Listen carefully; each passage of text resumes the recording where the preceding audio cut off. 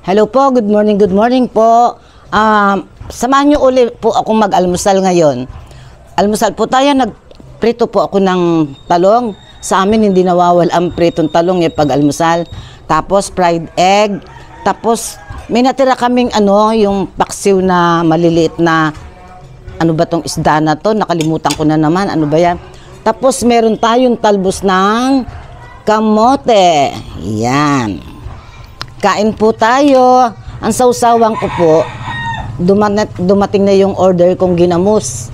Tapos, kalating galon yung in-order ko. Tapos ngayon, nagisa lang ako ng konti para tuwing gagamit ng ano, sausawan, nakagisa na siya. Ayan po. Kain po.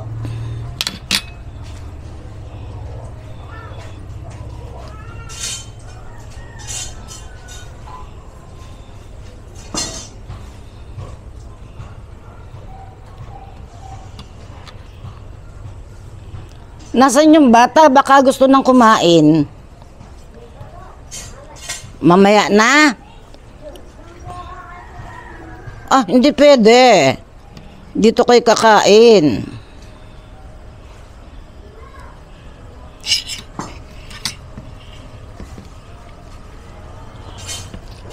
Hmm.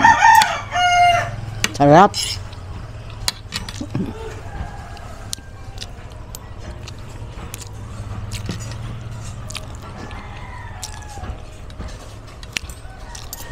Nahiya yung bata.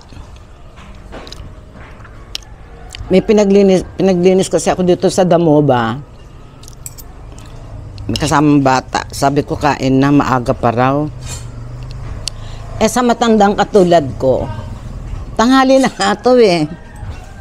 Minsan, ano, medyo ano, kumakain ako, mga 6.30, ganyan.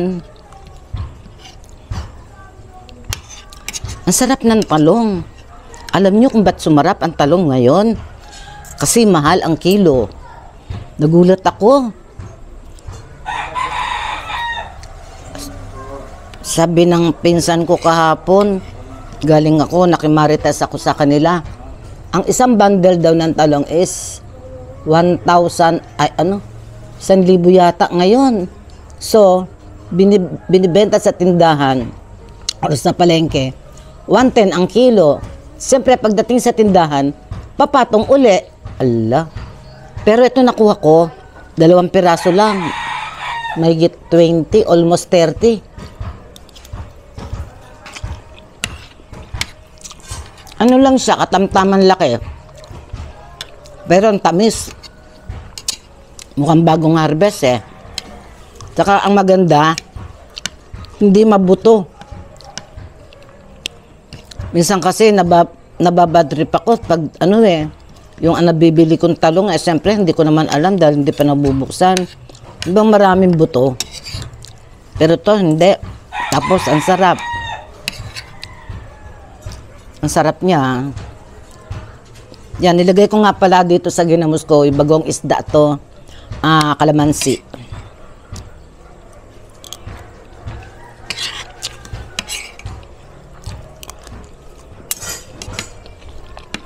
Mm.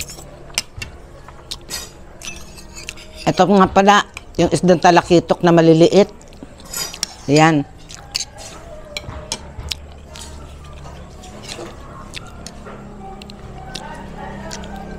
Palibasa, hindi ako nakakabili ng talakitok. Ewan ko ba't bigla nagkaroon dito sa market, dito sa palengke namin. Dati to wala naman eh, meron dito yung malalaking talakitok. Pag malalaking talakitok naman, ang binibili ko is ulo. Tapos sinisigang ko.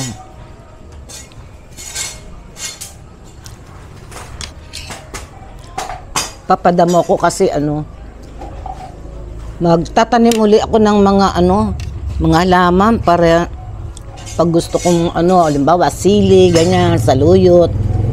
Bibuto ako ng saluyot yan eh.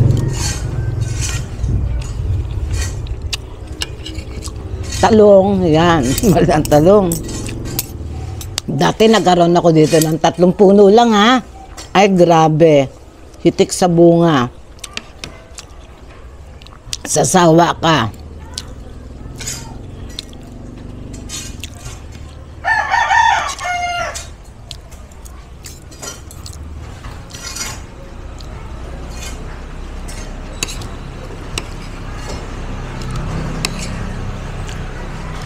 Mm.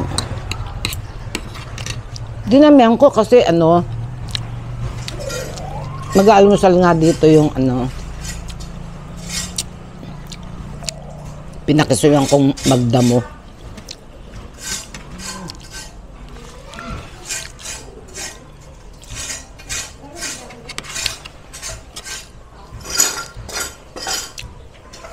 Mm.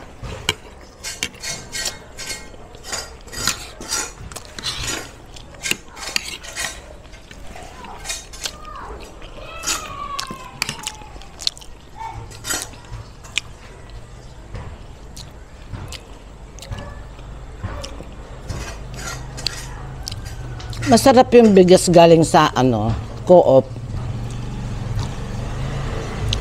Ito itong sinain ko na to galing sa co-op eh.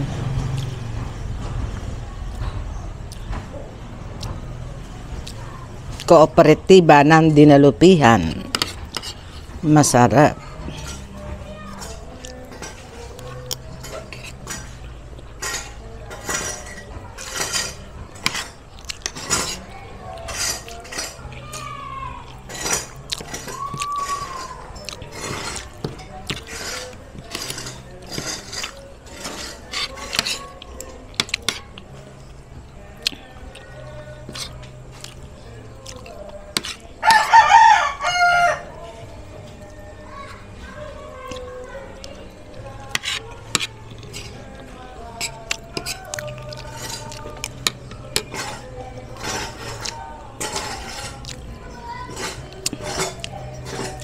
Gusto ko ano sunog.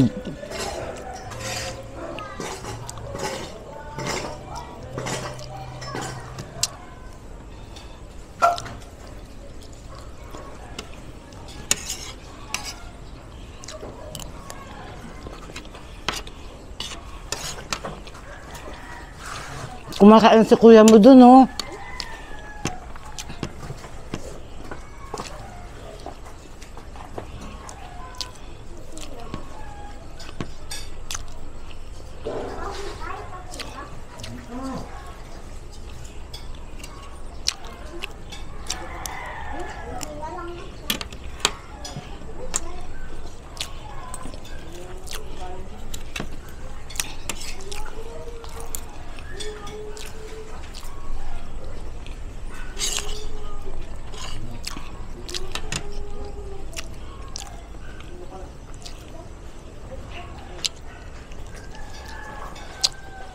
Ba't sumasama ka pa dyan? yung bata baka mamaya maulog ka dyan.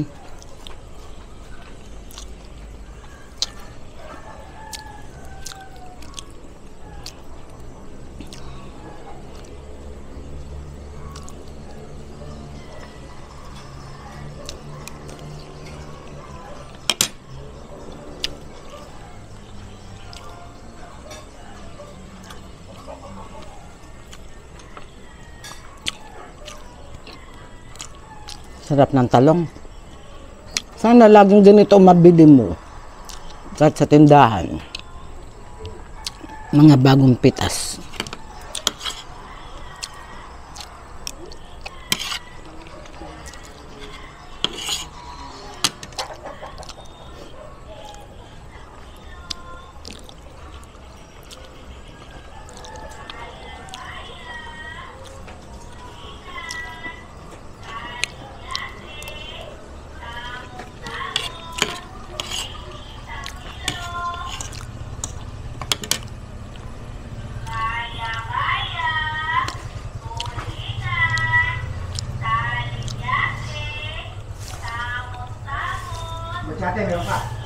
Na? Bacha. Batya? Oo, eto sa ano, terrace.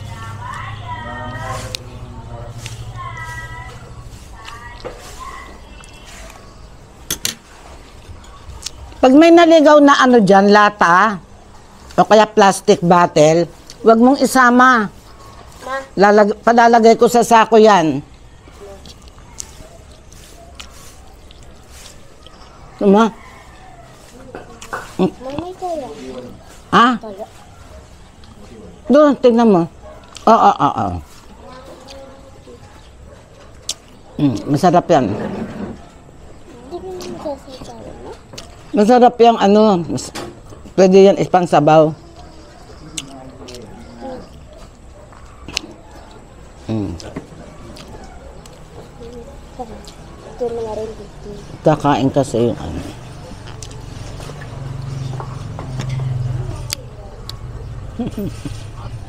Nainggit.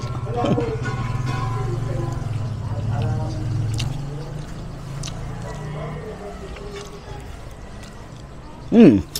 Ayoko na. Yan. Thank you po, thank you po. Ah, nakaraos na naman yung araw natin ngayon. Ah, pabira. Walang pasok. Pero sikat ang araw, oh. Baligtad. pag, pag umulan naman, may pasok. Ah, sige po, hanggang dito na lamang. Maraming salamat po sa ating lahat. Ah, sa panonood nyo ng ating channel. Bye-bye po. God bless us all po. Bye-bye.